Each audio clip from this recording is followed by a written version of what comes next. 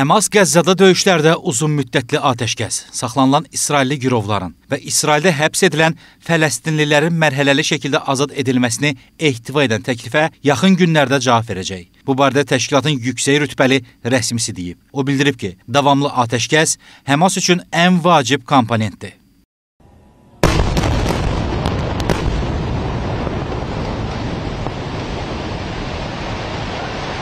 Qəzza zolağında öldürülənlərin sayı 27 mini keçib. Bununla bağlı Anklavın Səhiyyə Nazirliyi açıqlama yayıb. Bildirilib ki, hücumlarda minlərlə uşaq və qadın olmaqla ölənlərin sayı 27 min 131-ə, yaralıların sayı isə 66 min 287-yə çatıb.